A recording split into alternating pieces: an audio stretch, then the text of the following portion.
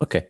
Um, good morning, everyone. Um, as you know, um, we are in the most advanced part of this course where we are uh, now um, focusing on um, research papers. So we are uh, we have already started last week where we um, have spent um, some time looking at the soft actor critic paper. And uh, we also uh, looked at some um, details of the implementation that you can find on uh, spinning up, uh, which is um, this open source code where you find um, several state-of-the-art algorithms uh, for reinforcement learning implemented both uh, in PyTorch and TensorFlow. Uh, so this week we are continuing this kind of activity but we'll be focused on a, a new algorithm, which is uh, PPO, um, proximal policy optimiz optimization. And you um, already heard about this um, last week somehow because uh, this was one of the baselines that Soft Actor Critic was comparing with. So uh, if you remember, Soft Actor Critic was uh, actually is an off policy uh, reinforcement learning algorithm where they use uh, this um, entropy bonus um, to modify the uh, optimization objective for the reinforcement learning problem. Um, PPO, proximal policy optimization, instead is an on-policy algorithm. Right, so uh, this means that data uh, that come from the past or from different versions of the policy, so from a different behavior policy compared to the one that we are learning about, um, cannot be uh, reused. So in this kind of algorithm, we only reuse we only use um, data that come from uh, a version of the policy which is the same uh, or not so different uh, from the one that we are learning about. So let me zoom in a bit um, as last time, I have highlighted in the paper the parts that we're uh, going to focus on, and I have some extra material over here that we're going to look at. And uh, again, this will be also one of the uh, algorithms that you will be uh, uh, implementing or using uh, according to the type of project that you will choose for the final um, project for this course uh, alongside other on-policy algorithms, including uh, TRPO, which uh, is anyway explained um, uh, at a high level in this paper. Okay, so um, as usual, starting from the abstract, we get the overall idea and then we go to the introduction. We'll see more uh, precisely what the contributions of the paper are. And finally, we go to the um, actual approach and experimental sections. So um, the as you can read here, policy gradient methods for reinforcement learning, um, which typically alternate between sampling data uh, through interaction, as we have seen in our course with the environment, and optimizing uh, in general some um, value function of uh, or um, policy are, I mean, uh, we, we have seen this uh, are um, very successful for several reasons. Um, and can be optimized, these functions can be optimized using uh, stochastic gradient ascent, right?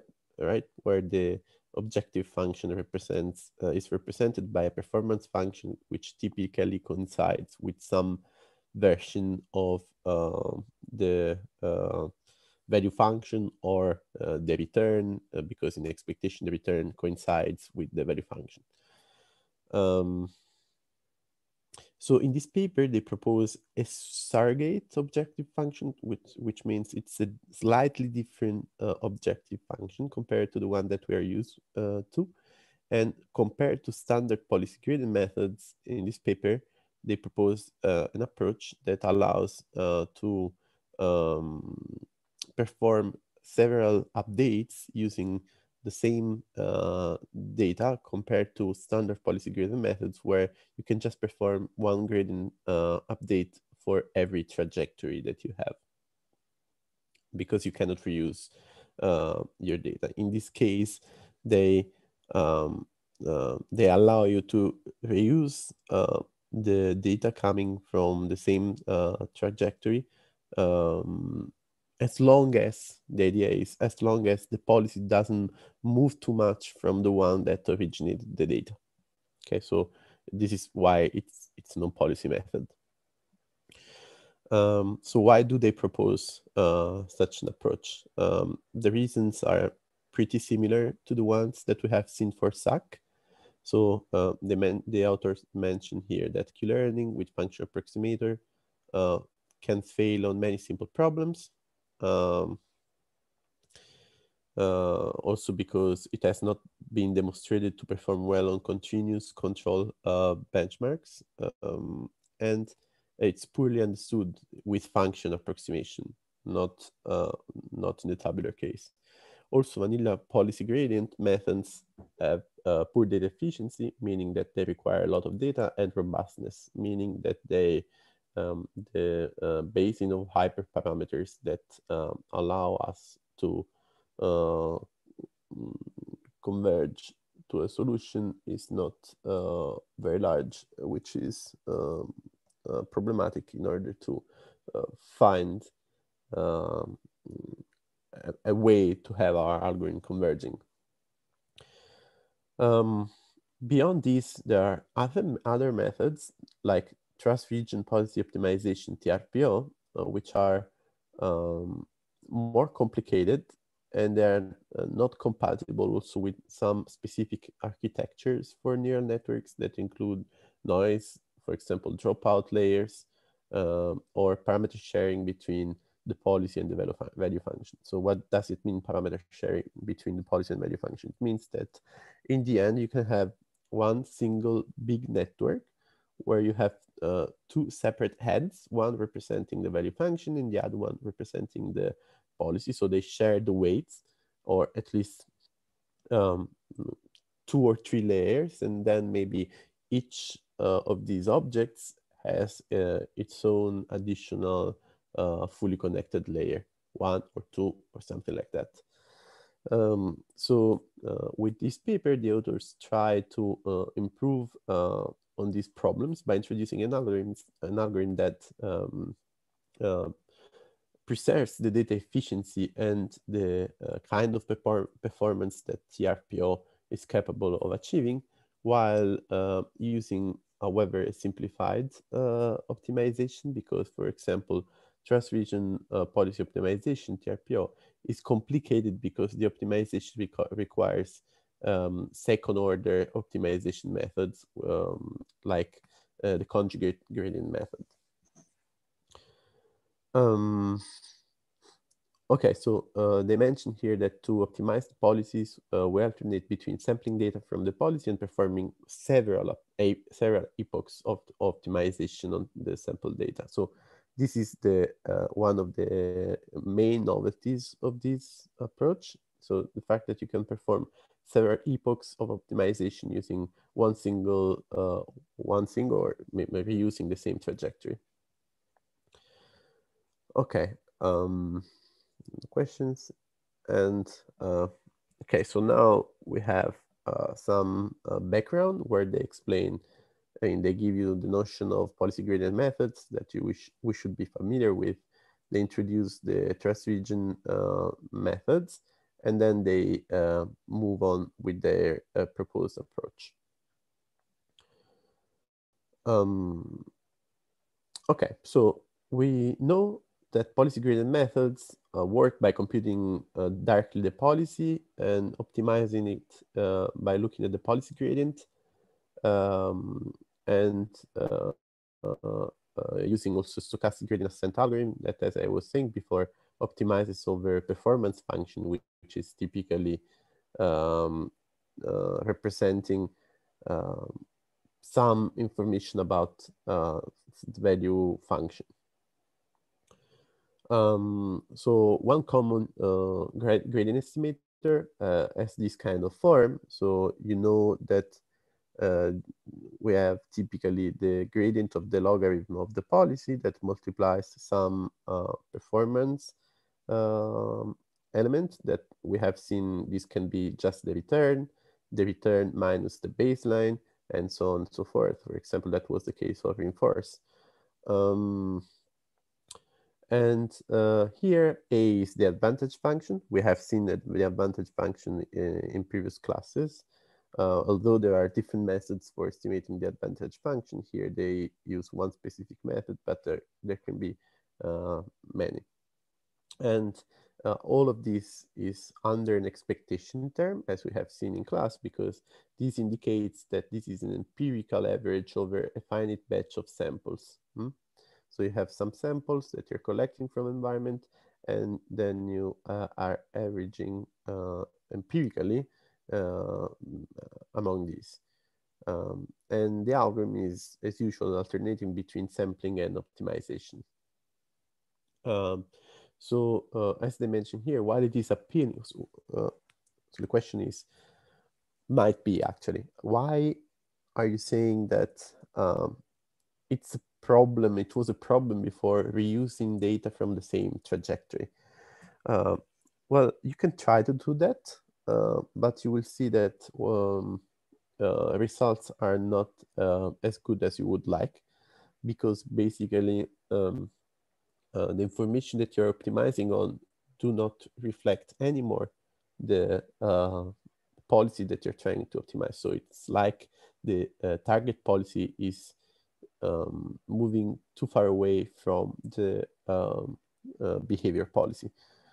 So um, this means that in order to do that, you need to move to an off policy algorithm or to use an approach uh, like the one proposed in PPO. So um, they write here why it, is, why it is appealing to perform multiple steps of optimization on this kind of loss using the same trajectory. Doing so is not well justified for the reasons I was explaining uh, right now. And empirically, it often leads to um, very large policy updates. Um, so in TRPO, which is uh, um, another uh, approach that has been proposed in literature, um, Another uh, objective function, this surrogate objective, is maximized uh, subject to a constraint on the size of the policy update. Why? Because uh, if you put a constraint on the size of the policy update, you can basically force the policy to be not the target policy to be not as far away uh, from the behavior policy. So basically, they are the same policy, and you are still performing an on policy update where the uh, update the um, update that you're doing is well justified. Uh, so this is why um, in uh, TRPO they propose uh, uh, an objective function which is um, the following. So it's uh, to maximize an expectation um, this uh, ratio between the new policy and the version, the previous version of the policy that multiplies the advantage function under the constraint that the KL divergence between the old policy and the new version of the policy is um, uh, smaller than uh, a small delta.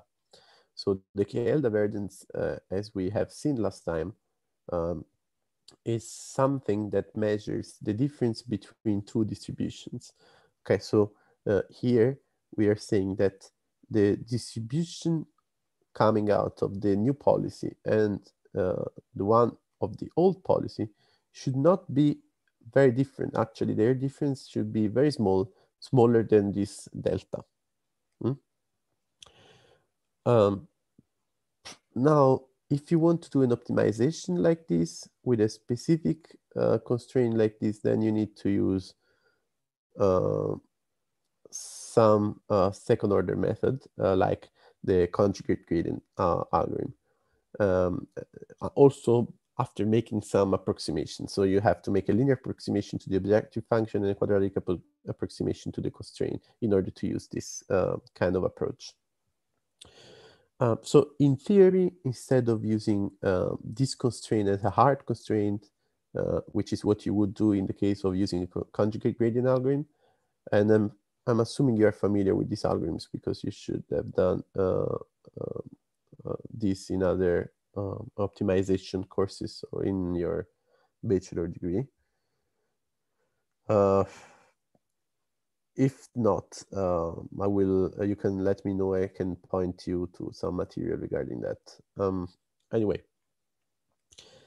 uh, instead of using this sort of hard constraint, you could use some soft constraint by basically um, uh, modifying your objective function in this way. So you have still the ratio that multiplies uh, the advantage function, but then you have some beta coefficient that um, multiplies uh, this um, uh, KL divergence factor, and this altogether goes to be subtracted to the original objective function. Why this is useful? Because this basically sets a lower bound for the optimization. Huh? Um, okay. So, um, however, uh, in practice, if you look at this, if you try to do this kind of optimization in this way, experiments show that this is not um, um, very easy because it's not sufficient to choose a, a fixed uh, coefficient beta, uh, but this should change over, um, over uh, the same training and between different um, problems and so optimizing this can be very difficult. This is why the authors propose a different surrogate objective, which is a clipped surrogate uh, objective. Um, but before moving on, let me see if there are questions.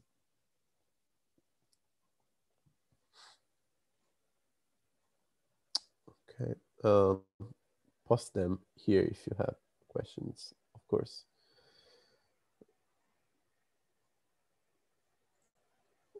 Okay, so what is this surrogate objective? Basically, it's almost the same, except that there is a clipping uh, when the uh, uh new policy is moving too far away from the old policy.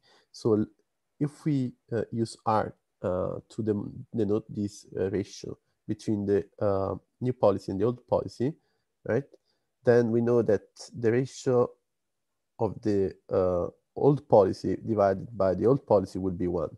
Okay, so this is uh, easy. So TRPO is using this target objective, which is the one that we have been seeing before, which is multiplying basically R um, and um, the advantage function, right? Uh, now, we can slightly modify uh, uh this, which is uh, in, in the following way. So the main objective that the authors propose is the uh, following, which is um, uh, still in expectation to use the minimum between the original TRPO, uh, uh, the original TRPO um, objective function, and a version where this ratio uh, is clipped uh, around one. So what does it mean? It's clipped to be at a distance not bigger than epsilon uh, from the old policy, right? Because the uh, this r here would be at one when the policy is uh, the when the new policy corresponds exactly to the old policy, right? So if we clip it around one minus epsilon and one plus epsilon, where uh, in a sphere around um, uh, this uh, situation where this uh, um, policy, this new policy, is uh, at a maximum distance of epsilon from the old policy. Okay, so of course epsilon is a hyperparameter, so you need to tune that and understand what is the best value. In, in their experiments they say epsilon uh, equals 0.2 is the best value that they have found so this second term so we have two terms here one is the original one and the second one is uh, uh, the new ones where they're just clipping r right so they're just uh, adding this extra information and they're saying if this is smaller, then we keep this. But if r is growing too much, then we clip it at around uh, epsilon, 1 minus epsilon, sorry. Um, so they're clipping the probability ratio, removing the incentive for the policy to move outside this interval, uh, which is, again, you can imagine as a sphere around the old policy. And if the new policy moves too far away from it, they're, um, they're outside this uh, uh, epsilon uh, constraint, then they are uh, um, clipping it.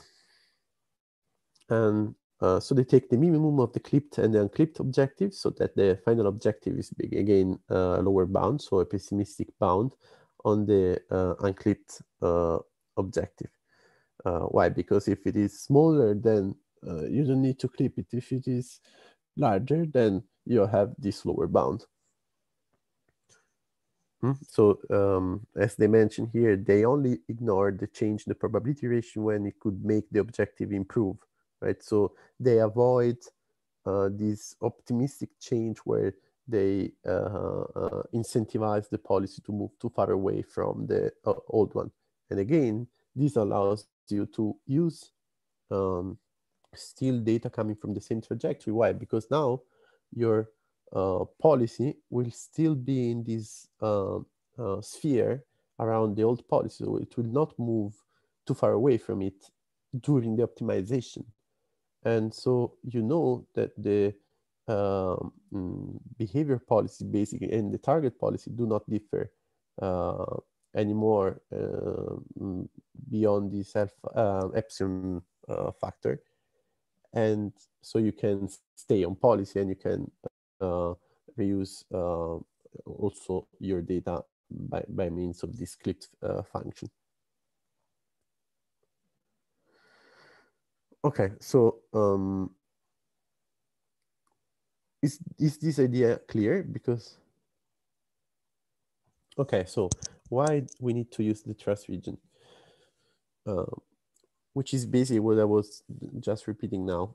So um, if you so if you are of policy right you can you have one behavior policy and one target policy which means that the behavior policy can be anything and the target policy can be anything which means that as a result of this um, if you generated your data with a version of your policy which was i don't know 50 uh, updates before it's not a problem right? Because even if your new policy is very different from the old one, right, your target policy is very different from the behavior policy that generated this data, it's, it's fine because you're off policy. Uh, if you are on policy, this is uh, problematic because if you move too far away from um, this trust region, then you're you cannot trust your data anymore uh, because these data do not come anymore from the uh, same policy that you're trying to uh, uh optimize, which doesn't guarantee any uh, kind of performance in the case of on policy algorithms. Actually, it can lead to very large updates that can lead to um, uh, unstable performance and updates. On the contrary, you want instead your uh, mm, I, I, will keep talking about target and behavior policy, even if we are in the on policy case, just to uh, let you understand that in the on policy case, they should be the same thing, right? But um, but given that they are not in practice, you want the uh, target policy to be as close as possible to the behavior uh, policy. Instead, what, what happens if you are doing several updates using um, some data, then while updating your target policy is changing, right? It's, it's moving away from the old policy. And if it is moving too far away from the old policy, then you cannot reuse these um, the, the same data because you one update using some data moved your policy away and uh, it's not possible to reuse anymore those, those data coming from the behavior policy because now the target and behavior policy are different. Um, uh, on the contrary, if you are in this trust region, if you don't move your target policy too far away from the behavior policy, then you can still use that data because it's still reflecting something that comes from the same probability distribution. Mm? So, uh, um, I mean, I'm, I'm willing to explain this better or more if it is unclear. So if you uh, have more questions regarding this, please let me know. Huh? I hope I clarified this. If not, again, I can try to repeat it. Um, and I also can try to um, use some the, the whiteboard to explain you this better.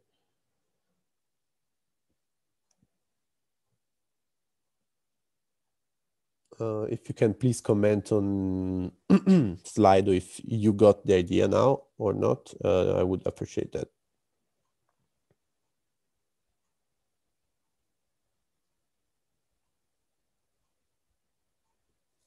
Okay. Okay, so um, PPO, uh, so the main proposal of PPO is this clipped surrogate objective.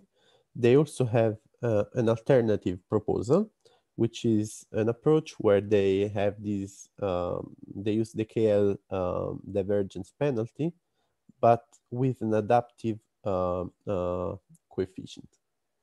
Okay, so uh, we're not going to focus too much on this because uh, in this, uh, you will see also in the experiments, uh, they found that the KL penalty performs worse than the clip surrogate objective, uh, which is why basically in most cases they use uh, uh, just the clipped uh, surrogate objective function.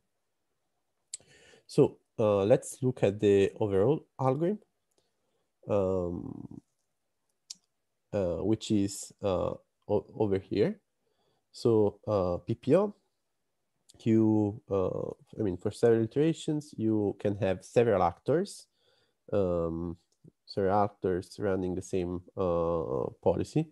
So these actors can run in parallel, can execute the policy uh, in uh, an environment for uh, a certain amount of time steps where t is um, smaller than the um, uh, episode length. Uh, and then they can compute the advantages. and after uh, doing all of this, they can optimize the surrogate loss with a certain number of epochs and mini batch sizes. Okay. And after that, the old policy gets replaced by the new policy. now, how can you compute uh, the advantage? In there are several ways to do this. Uh, some we have seen in class. There is another way of doing this, however. Um, but most techniques in any case uh, use, uh, in order to compute a variance reduced advantage function, make use of a learned state value function, V. So um, uh, another approach um, that makes use of this is uh, the following. So one style of policy gradient implementation, which is popularized um, by this paper, uh, well used also with, for use with recurrent neural networks, runs the policy for uh, t time steps. Hmm? So where t is less much, uh, sorry, is much less than the episode length, and uses the collected samples for an update. So mm, this update is done um, by using uh, this um, kind of estimation so uh, they are um, using the corrected estimate being the sum of the rewards discounted until the uh, last uh, step um, number t. And then uh, they are uh, adding also um, the uh, discounted value function at state uh, t and this uh, is used then to compute the error uh, by making the difference uh, also with the value function uh, at the at the first state st uh, small t. Okay, so I don't know if, if this is clear. Again, here the this is the uh, new is the correction of our estimate, and this is the old estimate.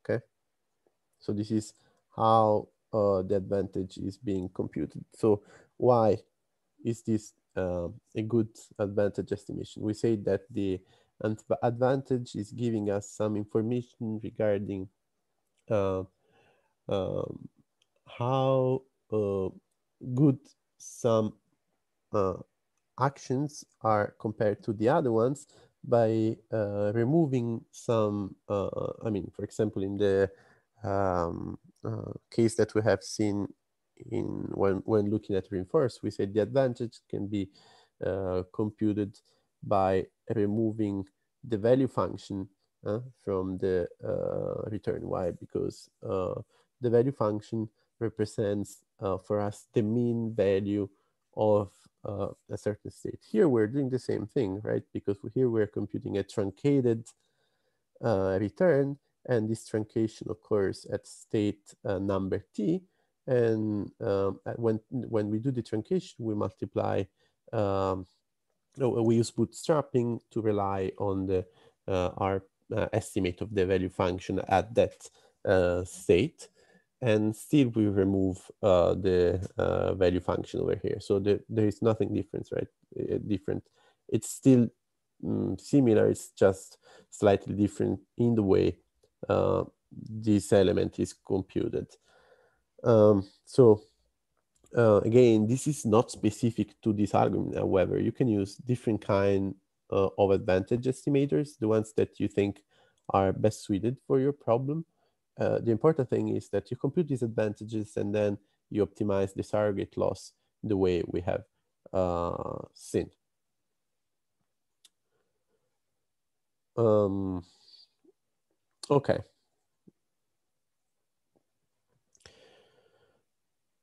Um, so the experiments of this paper are the following. They compare, uh, they, they, they perform several comparisons. Um, the first comparison that they perform is between different versions of these um, surrogate objectives.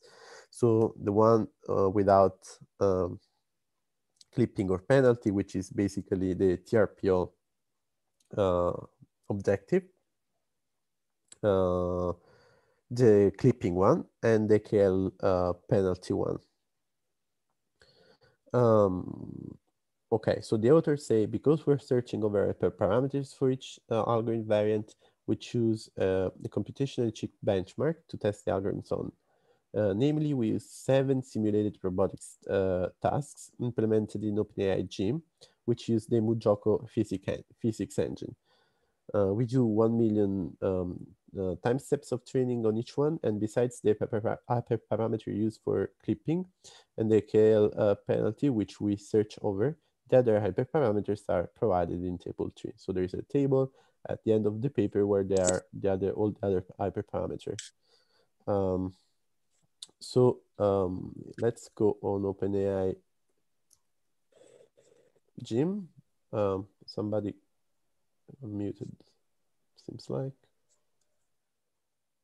Okay.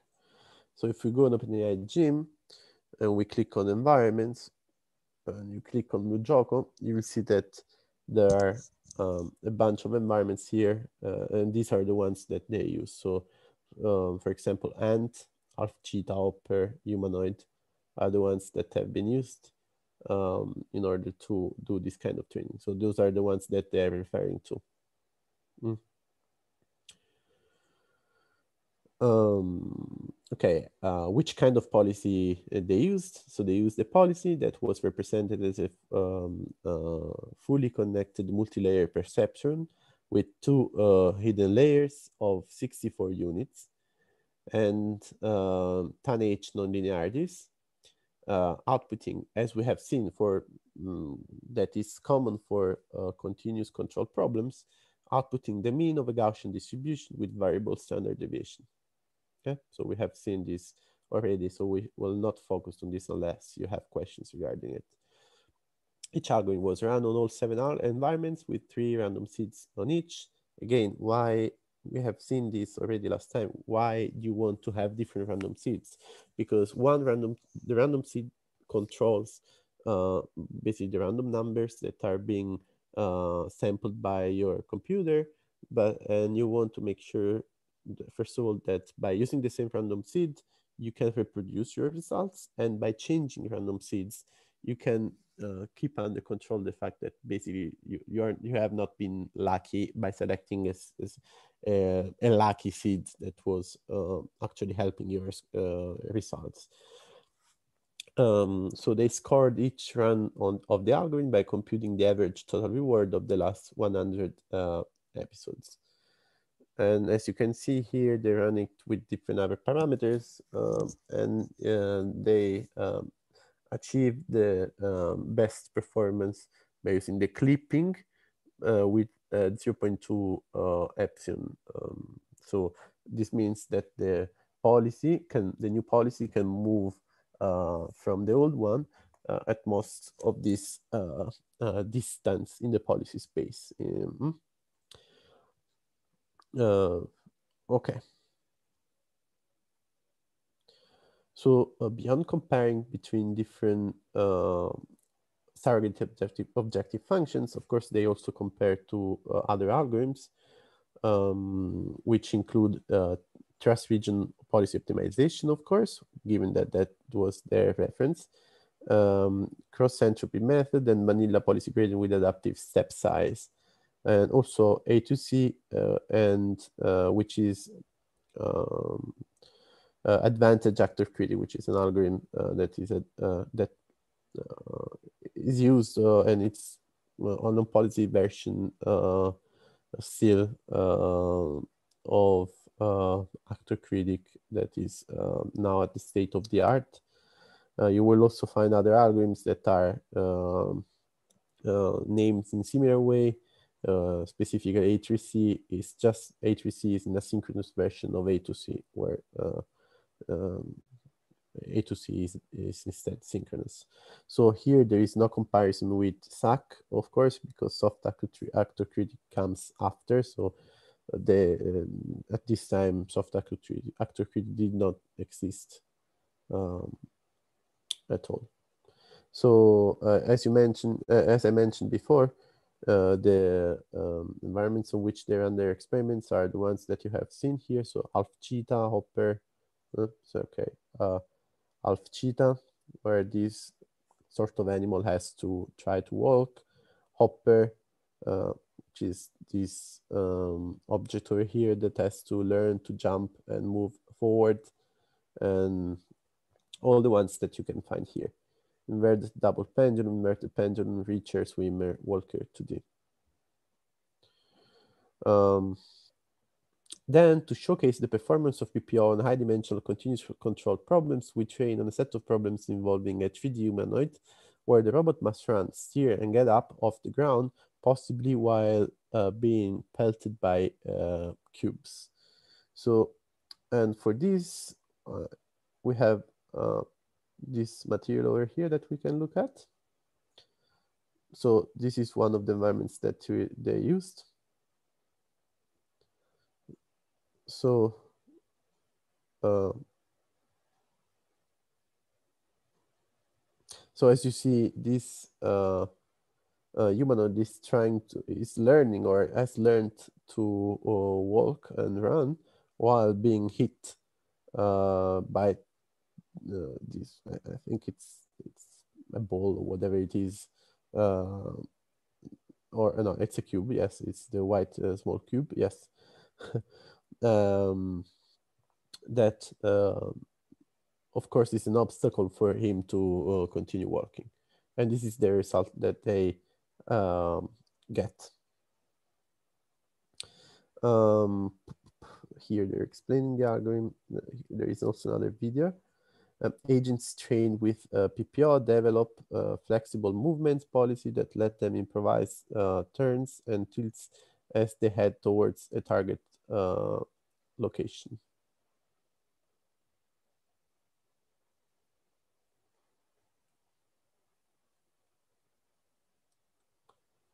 So I think it's interesting to look at all of these because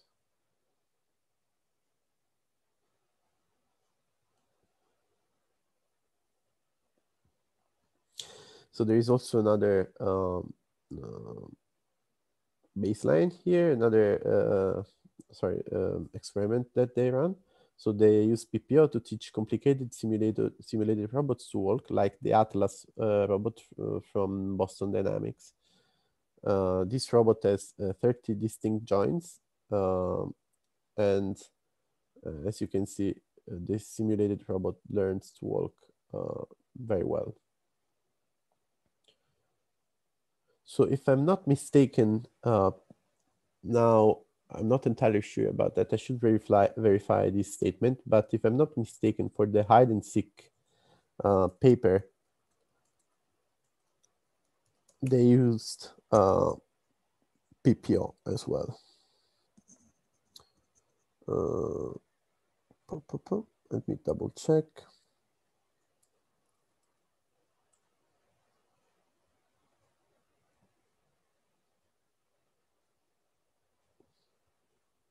Yes, agent, agent policies are trained with self-play and proximal policy optimization. So, I mean, you have seen this video uh, already, but we can look at this again, right? So this is where the agents learn to play hide and seek.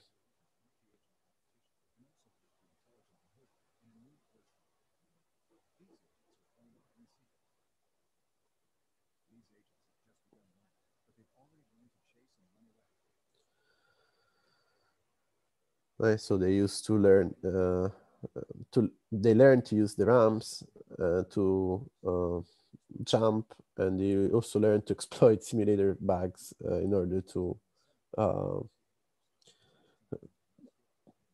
to escape or, or to find to find their um, the opponents. Okay. Uh, wait. Okay so let's close this. So this is a very advanced algorithm, as you can see, because uh, it's being used to obtain very interesting results at the state of the art. Huh? So um, again, if they if you understand this uh, kind of uh, stuff that you're talking about, then you're uh, I mean, at a very good level of understanding of the reinforcement learning problem and uh, in general of the approaches that can be um, uh, used. Uh, okay, so uh, here there is uh, some other material that um, I wanted to share with you. So we're not looking at this here now, but if you want to understand better the paper, there is uh, some uh, extra material on the Spinning Up website where they explain uh, the uh, algorithm uh, itself. And uh, they explain even more in detail the idea of clipping.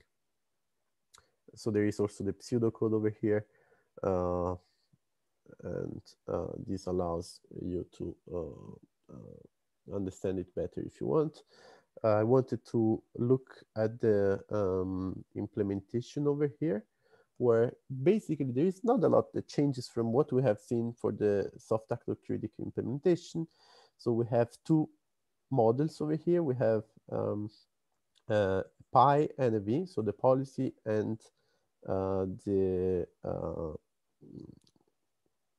uh, value function. So the value function is used in order to compute uh, the um, the returns that are uh, and to optimize the advantage function uh, basically. So the um, so the value loss here is a simple mean square error between the value predicted by the value function on the observation and the uh, uh, and the return the truncated return. Uh, and um, uh, while the loss for the policy is exactly the one that we have been looking at. So um, the policy loss is computed by looking, first of all, uh, at the log uh, probability of the new policy on the observation and computing the ratio right? Where the ratio is um, the, uh, ratio between these uh, two policies. Again, this if you do the exponential, it's the same thing, right? Uh, so the exponential of the log p minus uh, the log p old then is the ratio that we have been looking um, before because here we are in logarithm space. So the uh, division is the same as the difference. So the logarithm of the new policy minus the logarithm of the old policy is this uh, that division. Then you use the exponential and you bring it away from the logarithm space. Um, then you do um, the clipping and then you compute the loss as the minimum between the ratio and the advantage function and the clipped uh, version of it. Huh?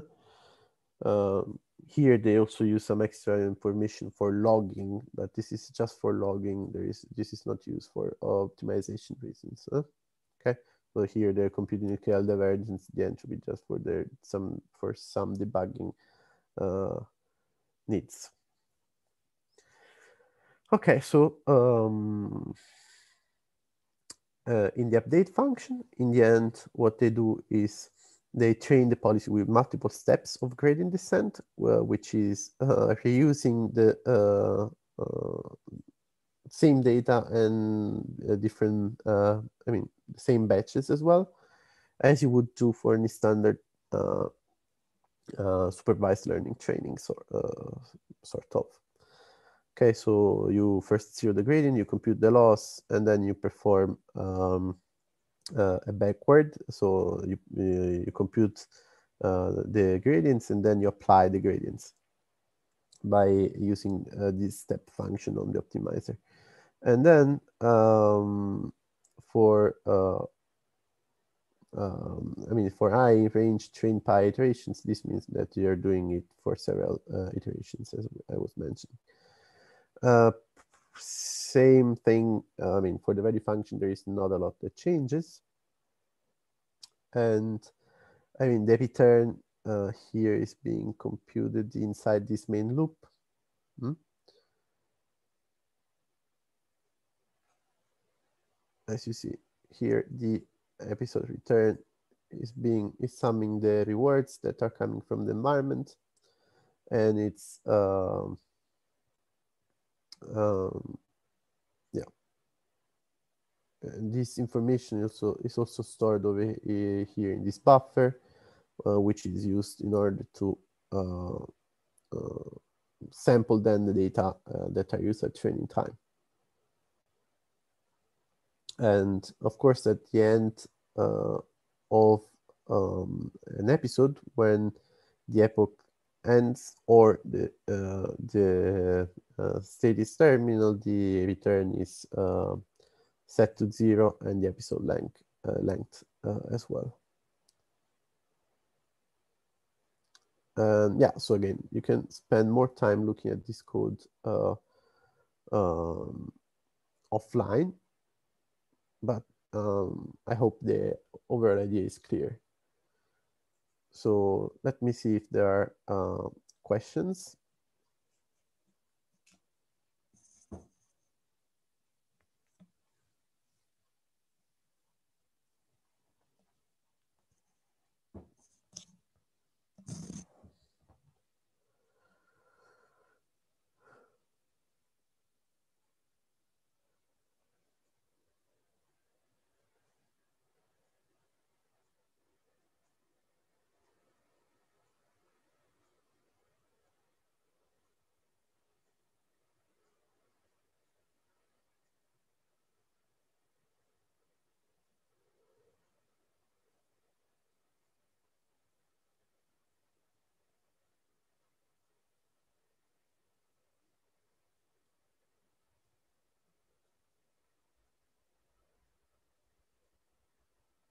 Okay, so I mean, if there are no questions, again, um, for today, this is it. So you can get some extra uh, relaxing time before the next class.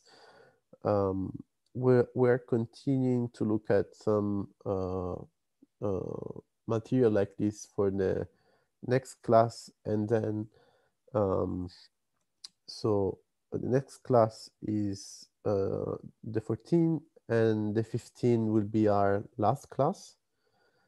Um, so I would try first of all to get uh, the homework results out during this week. And uh, for the 15, I would like uh, you to uh, collect all your questions, doubts, or um, concerns, and we can talk about these. So I, would, I, I think the last uh, new material that we'll talk about will be uh, next Monday, and then on uh, Tuesday we'll just focus on um, clarifying points and doubts if there are. Um, actually, uh, please, I mean, I, I will open. Um,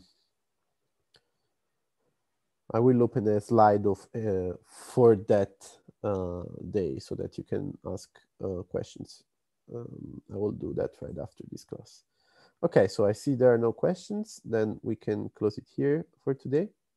And uh, I mean, thanks for your time.